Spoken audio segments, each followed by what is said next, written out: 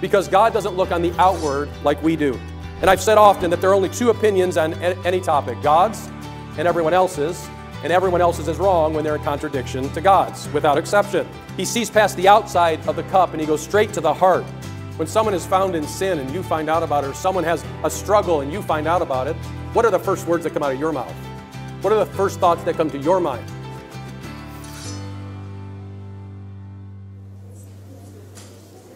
One day, two bums went into a liquor store. They stole a giant bottle of expensive wine. They fled the scene of the crime, and a frightened attendant quickly called the police, who didn't take much time to catch up with the two men walking down the street, enjoying their beverage of choice. As the two men saw the officers approaching, the one man hurriedly handed the brown bag to his partner next to him. And before the second guy could find a bush for the bag, the officers confronted him and said, Hey, two men fitting your exact descriptions were just reported to have stolen a bottle of expensive wine from the store just a block away. Of course, the first bum denied any wrongdoing, and the second bum followed suit. And so the officer asked him, uh, Well, what's in that brown bag? The man said, in, in my brown bag here? Well, that's just water. The officer said, Water? What do you mean that's just a bottle of water? The bum said, Yeah, right here in my bag, this is just a bottle of water. So the officer said, Well, if that's just a bottle of water, why don't you just go ahead and show it to me? So the man slowly and cautiously started to unfold his little brown bag. And as he peered into it and began to pull the bottle out of the bag, he exclaimed to the officer, Oh my word, you are not going to believe it. He's still turning water into wine. I have no idea what that has to do with my sermon. Truly, getting caught red handed in the very act of anything illegal or immoral is something that most of us try to avoid at all costs. But that's exactly how the story that I want to look at today starts out. In fact, the title of this message is Caught in the Act. Uh, this will be part one of a two part message. I'd like to invite you to turn with me, if you will, to the fourth book in the New Testament, the book of John and chapter 8. John chapter 8. It's here that we find the record of an event in Jesus' earthly ministry that's found nowhere else in the other Gospels. None of the synoptic Gospels, which are Matthew, Mark, and Luke, include an account of this story. However, as you read this story, you recognize that it's a bit of synoptic like material stuck in the middle of John's Gospel. It's a story where Jesus has a very public confrontation, but he speaks only a total of four sentences in this story a good lesson for all of us to be sure. And that's why James 1 and 19 says, My dear brothers and sisters, take note of this. Everyone should be quick to listen and slow to speak. So I guess that's why we have two ears and one mouth by design and for good reason. Now, the story begins with the assembly, because looking back in John chapter 7 and verse 2, it says, Now the Jews' feast of tabernacles was at hand. And then in John chapter 7 and verse 37, it says, On the last day, that great day of the feast, Jesus stood and cried out, saying, If anyone thirsts, let him come to me and drink. He who believes in me, as the scripture has said, out of his heart will flow rivers of living water. What a beautiful passage of scripture. But according to the book of Numbers, chapter 29, and Deuteronomy, chapter 16, the Feast of Tabernacles was to last seven days. However, in Numbers 29 and verse 35, it states that the eighth day was also celebrated as a solemn assembly where no work was to be done. It says in Numbers 29 and verse 35, On the eighth day you shall have a sacred assembly. You shall do no customary work. And so when Jesus cried out that incredible invitation. It was on the last day, or the seventh day, or the great day of the Feast of Tabernacles.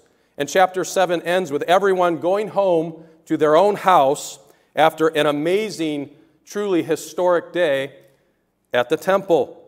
And then in John chapter 8 and verse 1, we're told that Jesus woke up early and he returned to the temple to teach on the morning of the added eighth day of the feast, which it's important to mention again, was to be a day of rest.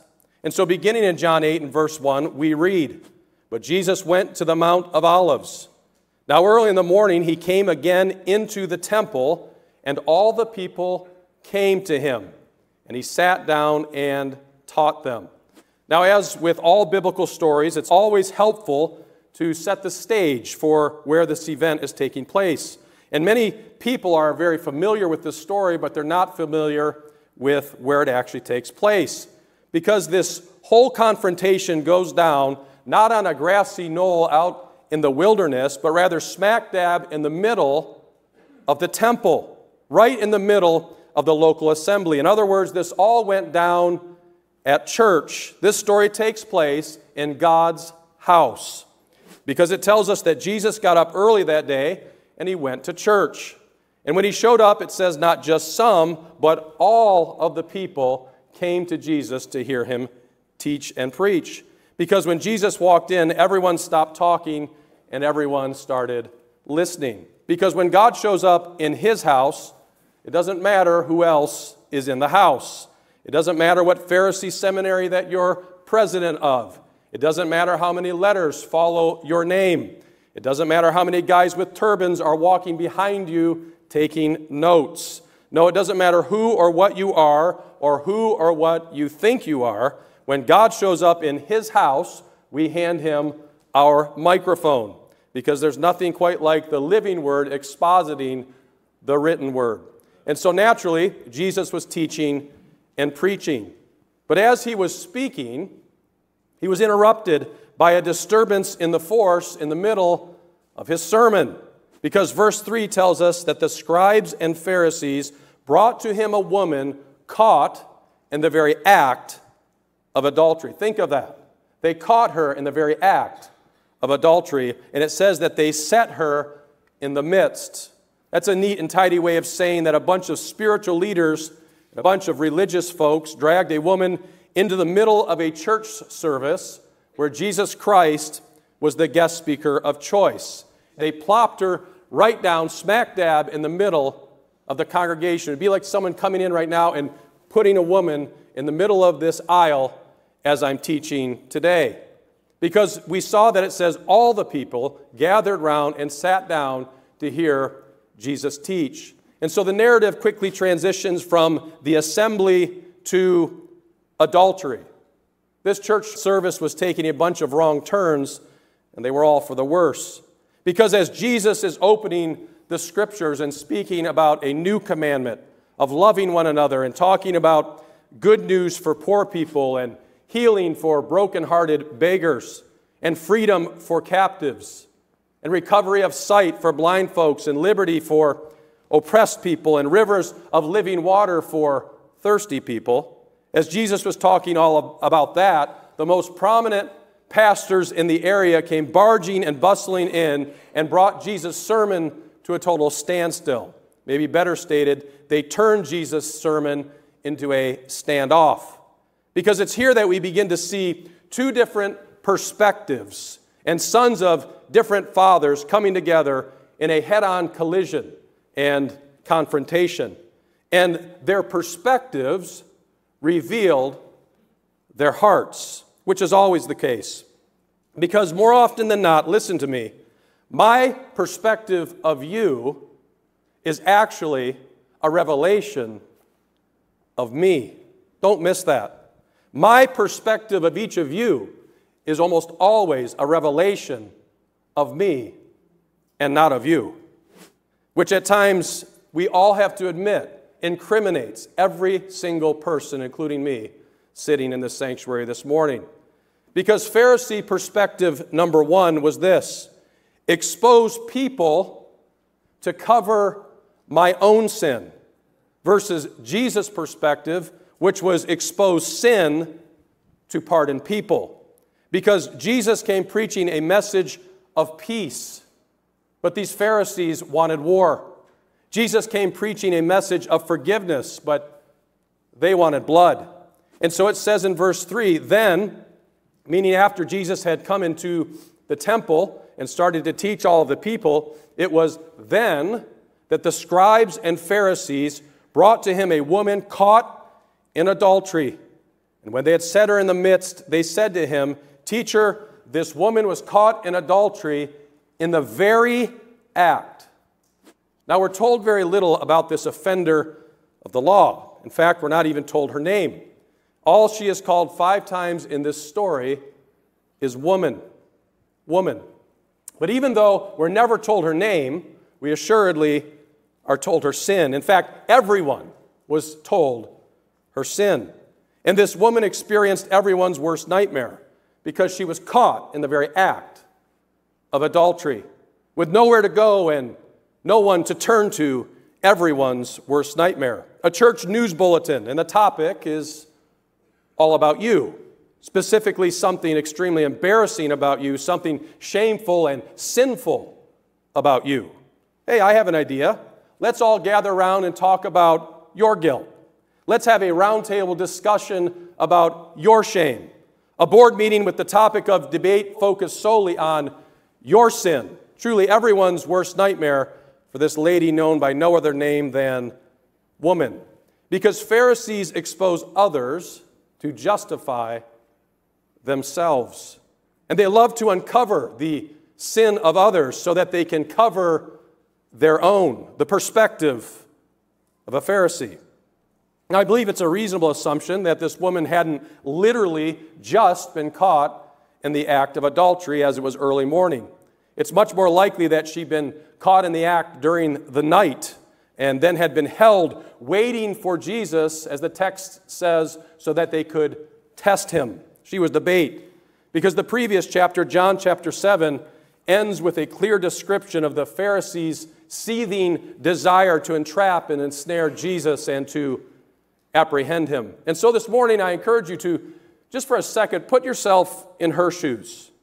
She's caught by a whole board of pathetic pastors while she's committing the very act of adultery. And then she's hauled out and she's held over to be used as bait to try to test the most famous traveling preacher and teacher of the day. This is the man who had cried out a prophetic message during the most solemn feast day of the year just the day before, and because of who he was, he actually got away with it.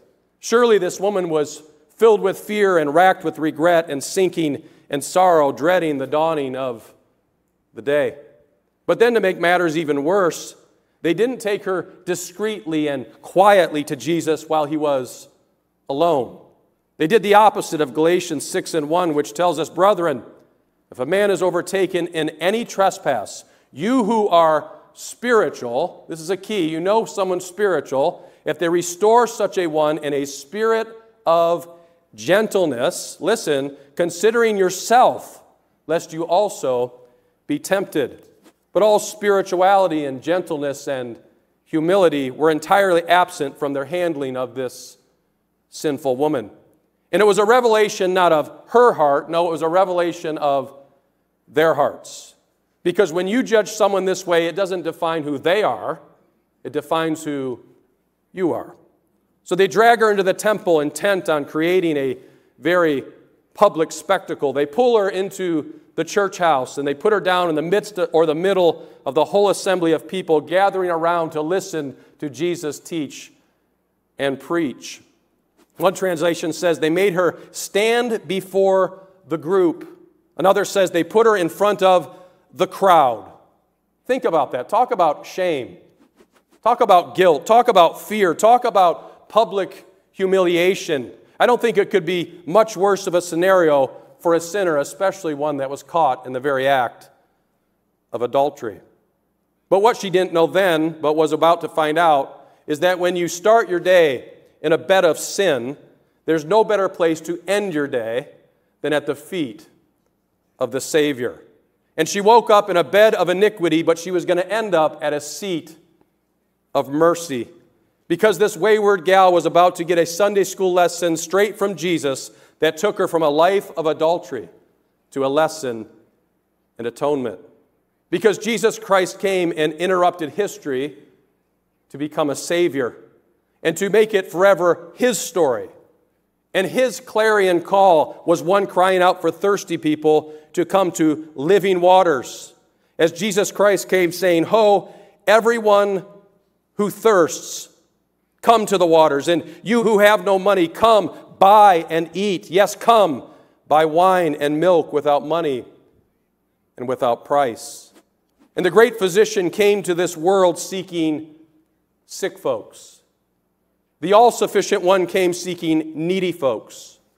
The hope of humanity came seeking out desperate folks. And the light of the world came seeking to dispel darkness with his great light. He came intent on defeating death with resurrection life. Who can say amen today?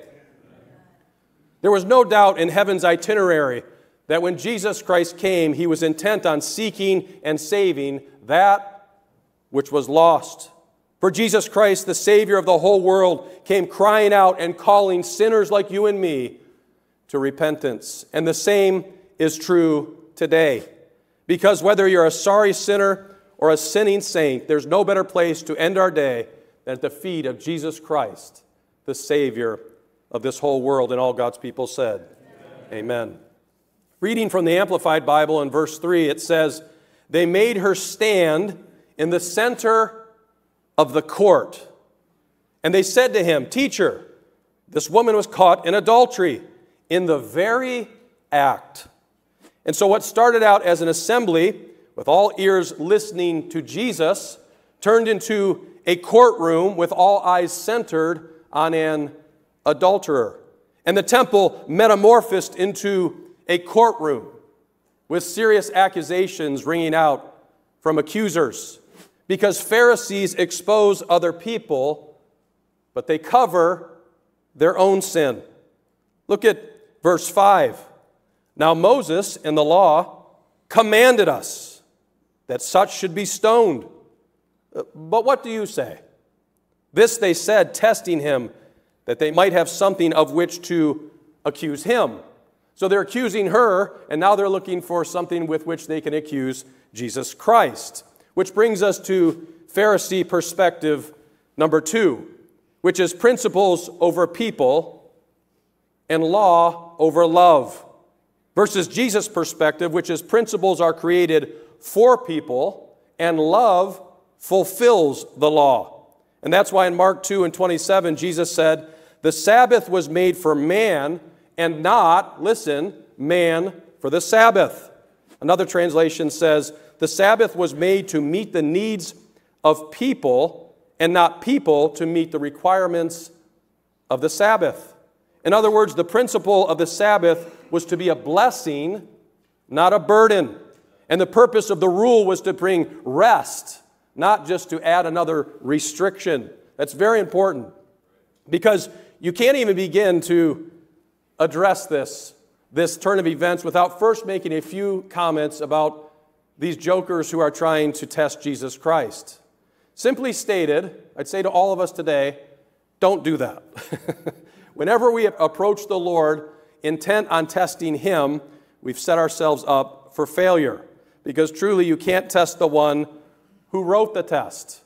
Jesus is the one who said, A student is not above his teacher, nor a servant above his master. Or as I used to tell my son on the basketball court, son, I may have taught you everything you know, but may you never forget that I've not told you everything that I know. It's important to make sure that pupils remember their place. But these teachers of the law made the bad decision to try to give a test of the law to the fulfillment of the law, to which I say two words bad move because Jesus had not yet even acknowledged them, and yet they were already in checkmate. What they didn't know is that their little game was over before it even had started.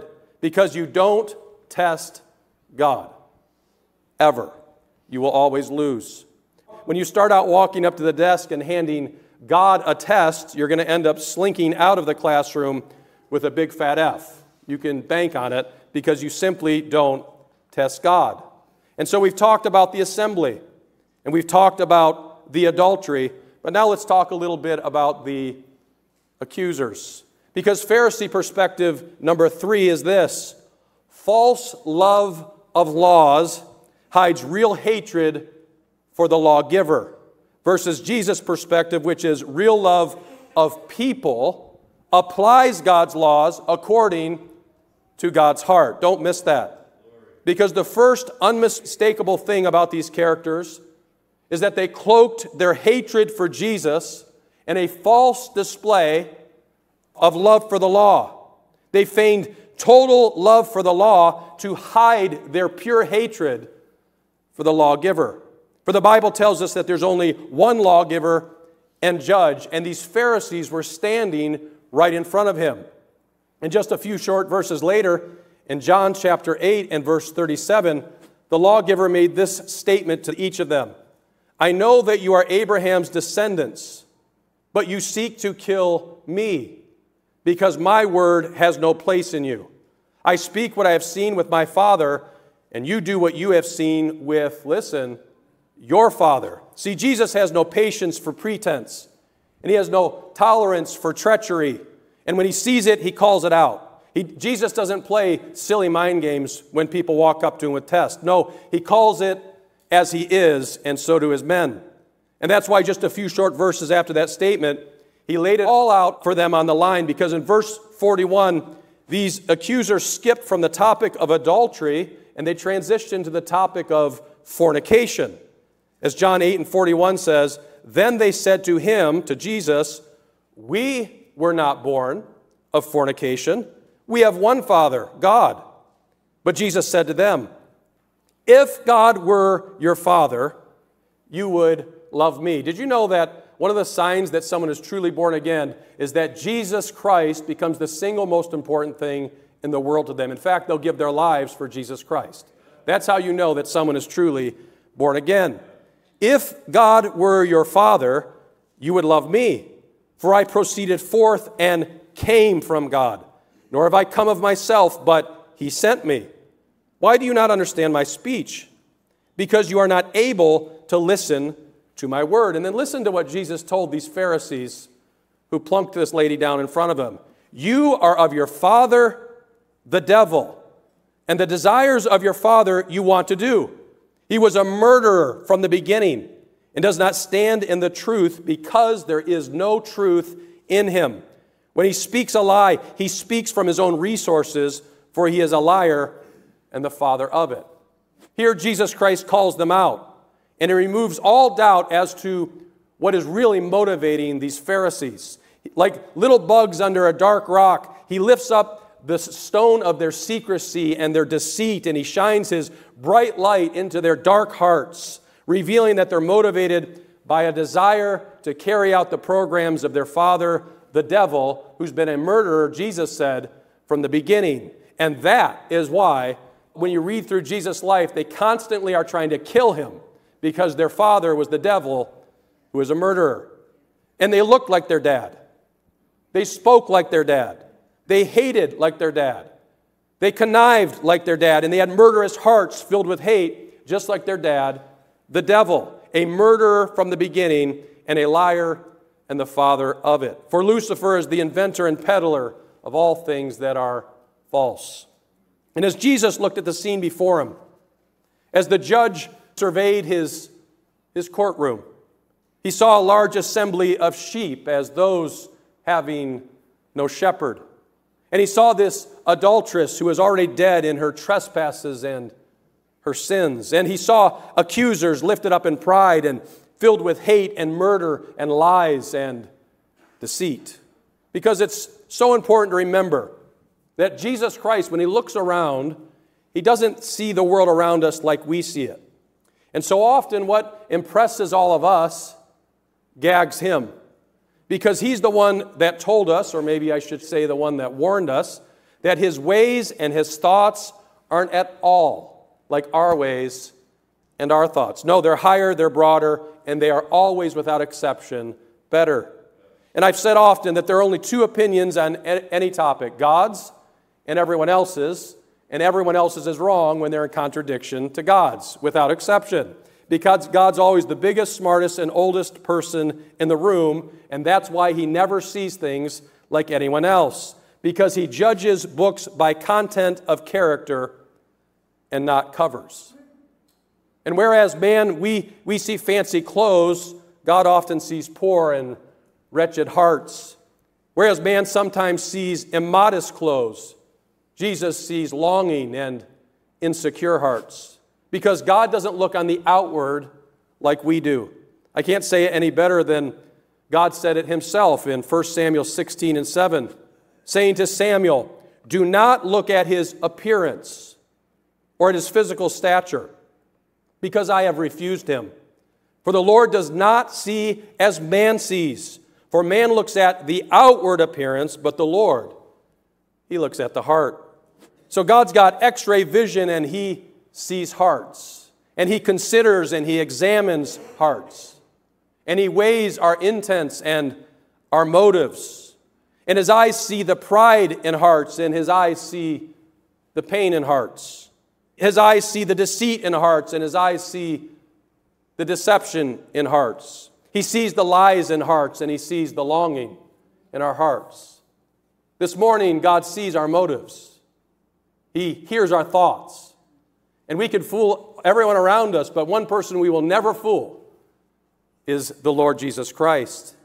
Because whether it's fancy or filthy, He sees past the outside of the cup and He goes straight to the heart. For He is the one who told us, Hear and understand.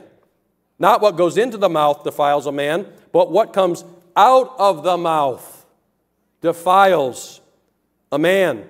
And that's why Proverbs 4 and 23 tells us to guard our heart with all diligence, for out of it springs the issues of life. Because today, right now, God sees you and He sees your heart.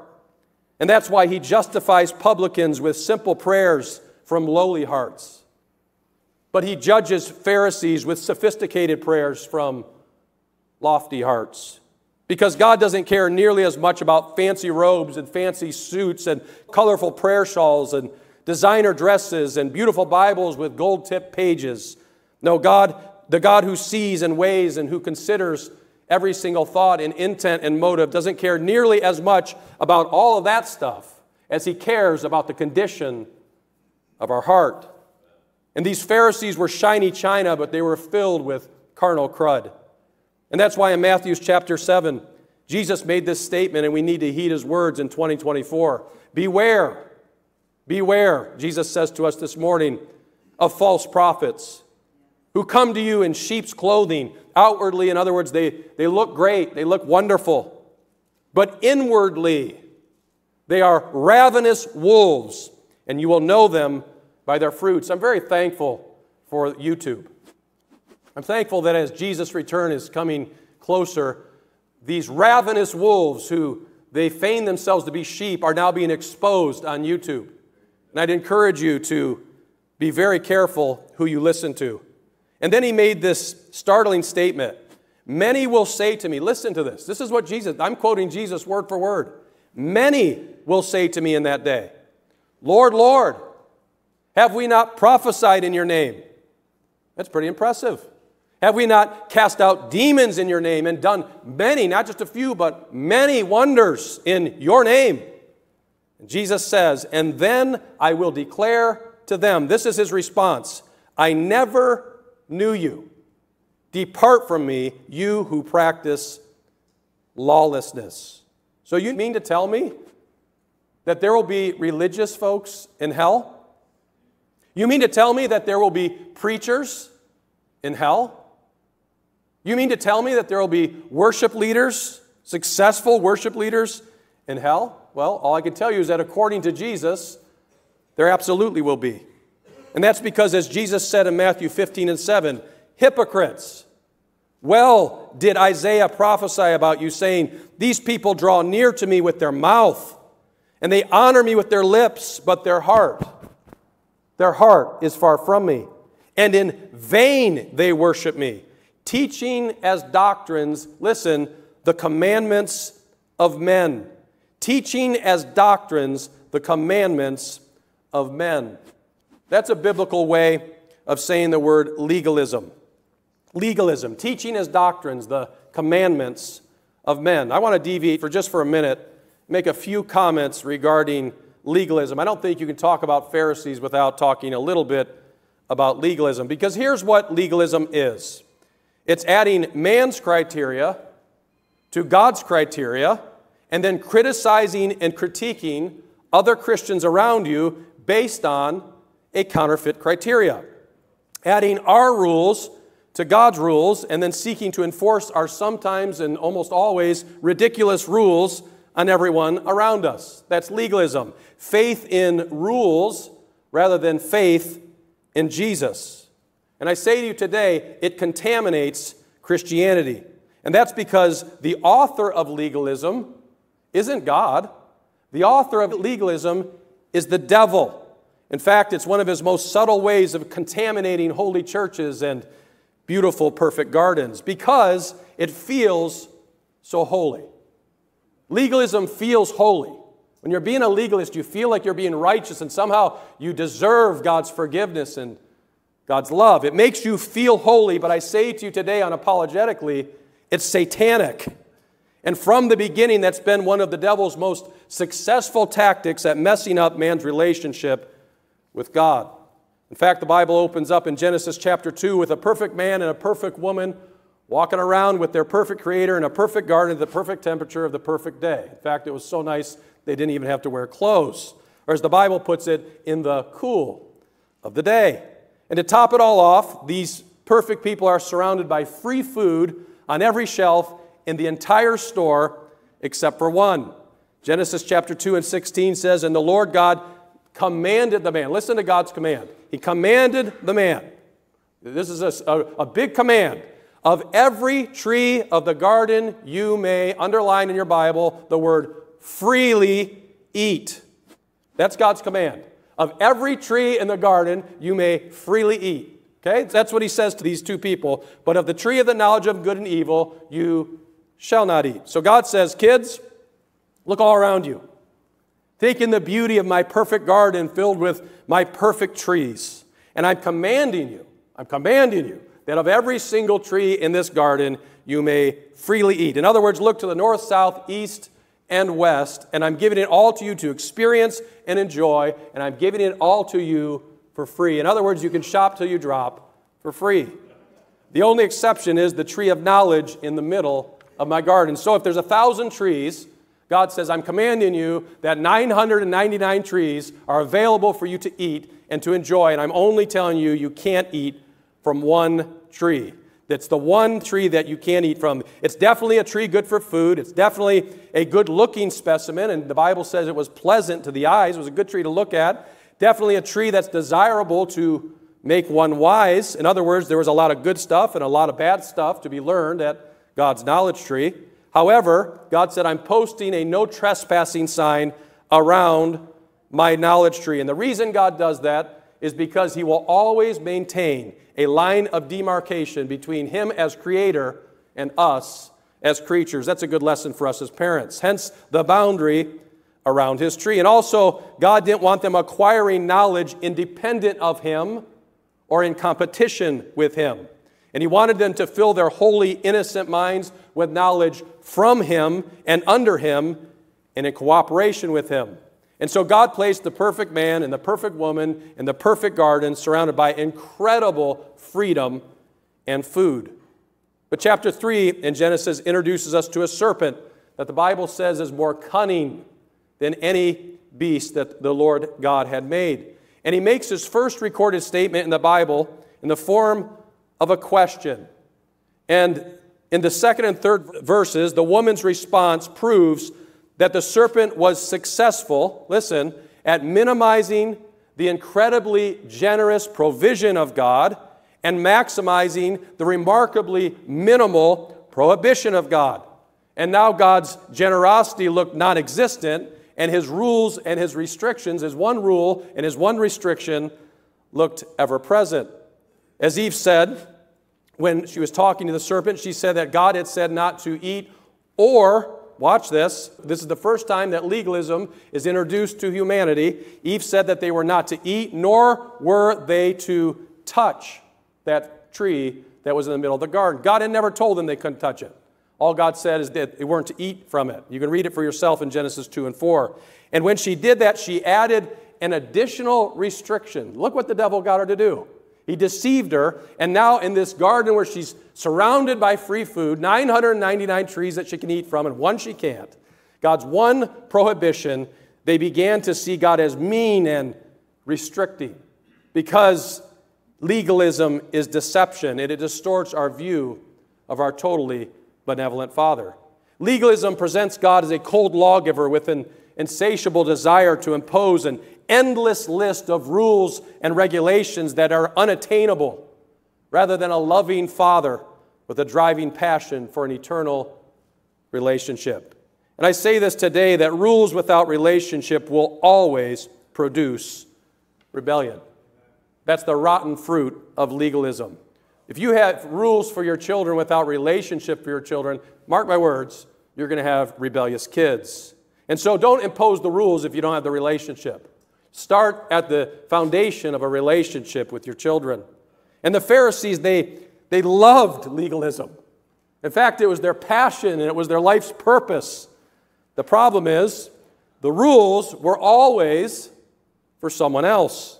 And that's why in Luke chapter 11, Jesus said, And you experts in the law, woe to you, because you load people down with burdens they can hardly carry. And then he says this, And you yourselves will not lift one finger to help them. Jesus is the one who originated that saying that we all said to our kids. They would not lift one finger to help these people that they burdened. Because whether it's 26 AD or 2024 AD, the Pharisee MO remains the same. Because it's burdens for thee, but breaks for me. I like how A.W. Tozer said it.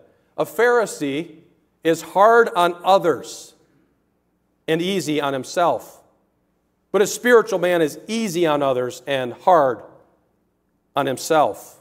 Because Pharisees make everyone around them tired from, from carrying these burdens and these rules and these regulations that are too heavy to carry. While they sit well rested on their seat of self righteousness, casting judgment on everyone and everything around them. And I say to you today, it's stinky, and it's obnoxious, and it's burdensome, and it's the opposite of the heart of God. I say to you today, as we begin to close, think about your own heart for a moment. When someone is found in sin and you find out about it, or someone has a struggle and you find out about it, what, what are the first words that come out of your mouth? What are the first thoughts that come to your mind? Because that is a revelation of your heart. Are you a Pharisee? Someone who doesn't have mercy for those who are struggling around you? Because Jesus is the one who tells every weary traveler who passes by his house Come unto me, all you who labor and are heavy laden, and I will give you rest. Take my yoke upon you and learn from me, for I am gentle and lowly in heart, and you will find rest for your souls. I ask if anyone here today wants to find rest for your burdened soul. Anyone who's struggling with the sin, Jesus says, Come unto me, and I'll give you rest for your souls. For my yoke is easy and my burden is light. As Jesus surveyed this situation, what the gentle shepherd saw was a very different picture than what these harsh taskmasters saw. Because the Pharisees were all concerned with the consequences for her sin. Jesus, the law says that, that you are supposed to stone her, kill her. What do you say we should do? What, what, what should we do about this? We're all concerned about the consequences of her sin. But Jesus, the Savior, was much more concerned about the condition of her soul. And so sometimes when a new convert shows up, Christian folks are more concerned with the length of their skirt than they are the longing of their soul. But Jesus saw the latter. He saw an adulteress kneeling before him who needed atonement. And Jesus was able to look with x ray vision into her heart, and he saw a sinner who was kneeling there longing for a Savior. The Pharisees saw a guilty adulteress, but Jesus saw a needy lady who was looking for something that she couldn't find, looking to fill a void with pleasure and looking in all the wrong places. Because these Pharisees, they were theological thugs intent on teaching and enforcing the law of legalism. But all thanks be to God that Jesus was the Savior of the world, and He was intent on showing and applying the law of love and of forgiveness. And as I think about this immoral woman, right now, as I envision her in the temple, smack dab in the middle of this religious crowd, I want you to envision that scene with me, if you will. Envision her with her hair assuredly probably messed up. Envision her before Jesus Christ with her red face from embarrassment and, and shame as all these people at church are looking at her having just been caught in the act of adultery. Envision the tear stained cheeks and her, her downcast eyes as she's standing before Jesus, filled with shame and regret and remorse, being accused and being confronted mercilessly with her sin. She had nowhere to go and nowhere to hide, and she's thrown down in front of the most holy, righteous, perfect man who's ever walked on planet Earth. That's her condition. As I envision her there being covered by possibly nothing more than just a blanket because she was caught in the very act. As I envision her there before Jesus in that condition, as I was preparing this message and envisioning that, I now envision myself standing before Jesus the judge, the one who sees everything and knows everything, and there's nothing hidden from him. I envision myself standing or kneeling before him, recognizing that I too need a Savior and I too need someone who's able to forgive everything. And I want each of you to envision yourself there, standing or kneeling in her place before Jesus the Christ. As I envision all that, my mind goes to these timeless words Rock of ages, cleft for me. Let me hide myself in thee.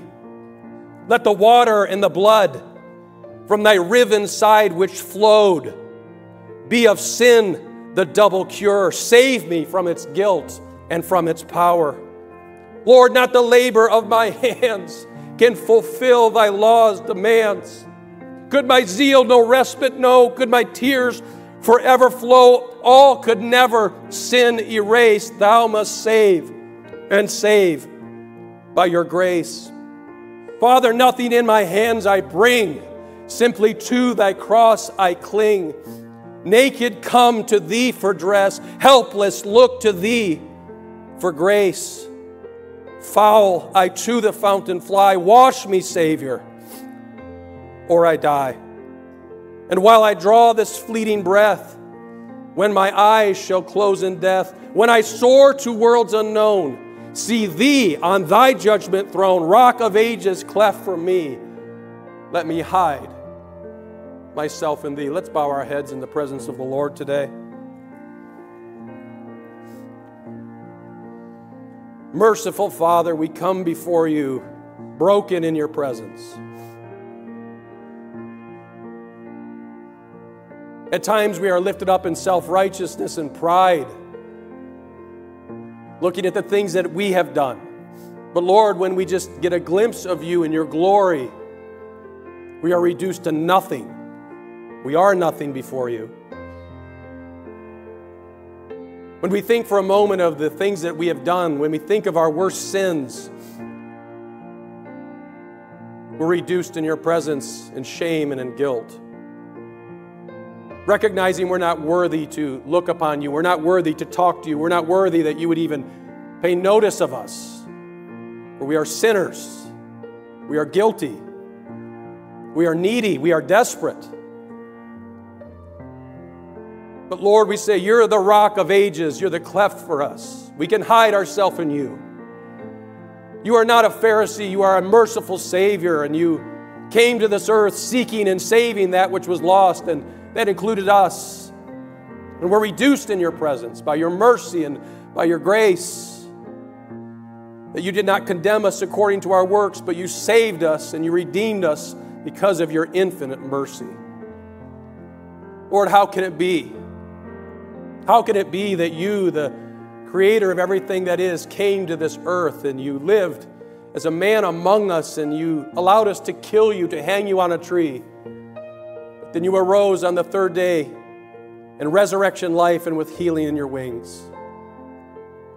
We ponder that even in this moment, Father, that you sent your only begotten Son to save us.